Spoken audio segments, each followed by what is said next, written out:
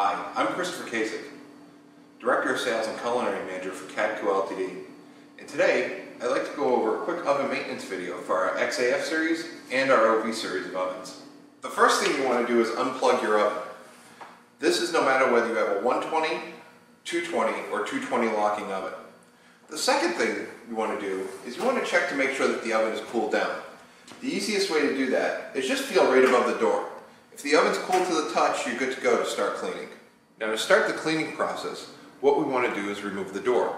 This applies to both the XAF and the OV series ovens.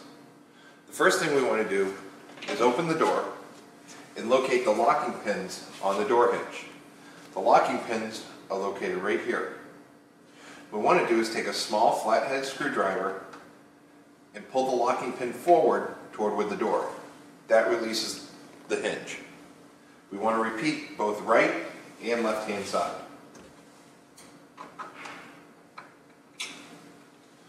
Now, for removing the door, just lift the door back up to the closed position and allow the hinge to kick off. Once the hinge is kicked off, the door will be released. After your door is removed, what we want to do is we want to remove all the internal shelves and shelf supports. It's okay if you don't have any shelves in the oven. You can just re remove the, the shelf supports without having to remove the shelves. The rack supports are supported by two thumb screws on either side of the oven. If your thumb screws are hand tightened, you can very easily remove them.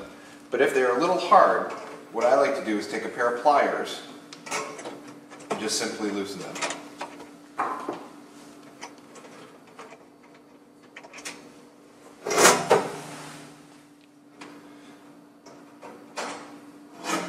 Once the rack supports and the racks have been removed, you can place them into a three-bay sink or a dishwasher. Once all your oven racks are removed, you can clean the inside of the cooking chamber. What I like to do is take a little non-caustic oven-safe cleaner, spray in the bottom, sides, and also the top. If you have any baked on items, what I like to do is let the oven cleaner sit for about four to five minutes and then wipe down the interior.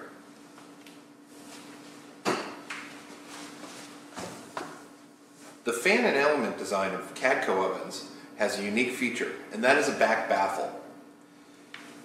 The back baffle is secured by four screws.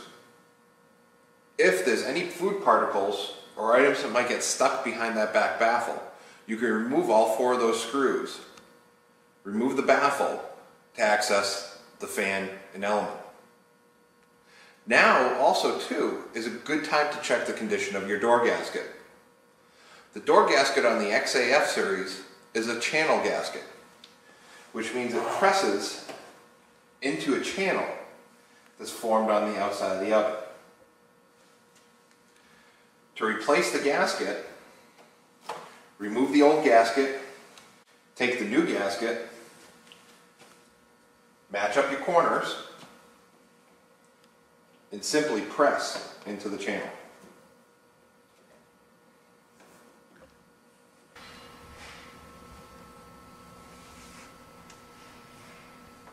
There's a slight difference between the XAF door gasket and the OV door gasket.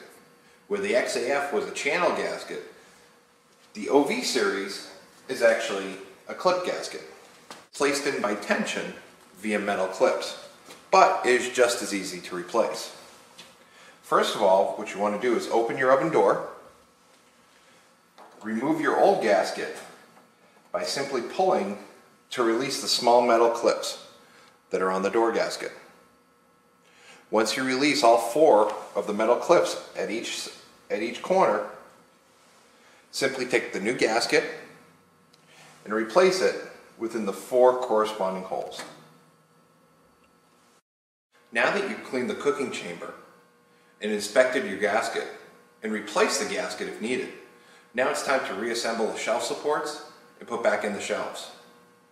What we want to do is take one shelf support at a time and one of the thumb screws and just reverse the process as we did taking them out to clean the internal chamber of the oven.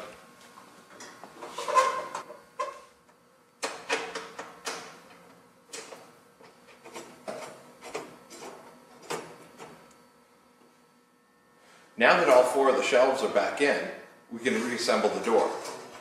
Reinstalling the door is just as simple as taking it off. You want to make sure that the door hinges are up in the locked positions and just slide the door hinge into the corresponding holes on the front of the oven. Make sure your door lays almost flat. Then, place your locking pins back into the upright position. On the XAF series ovens, you'll hear a light snap. On the OV series ovens, you might not hear any sort of snap, but there'll be a little bit of tension at the end. A unique feature about our XAF ovens is the removable inner door glass. The removal is done without any tools. The door glass just simply pops off for easy removal and cleaning through two spring-loaded hinges, one on the right side and one on the left side. Now you can remove the inner door glass for maintenance or for replacement.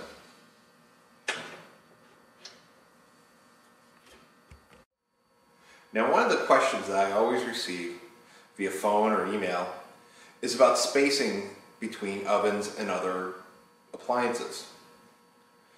Really what we like to have with convection ovens is 4, 4, and 2.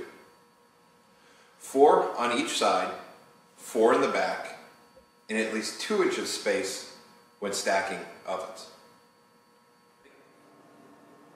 If you have any questions regarding the maintenance of the XAF or the OV series ovens, you can call me on our toll-free number or you can email me at chris at cadco-ltd.com.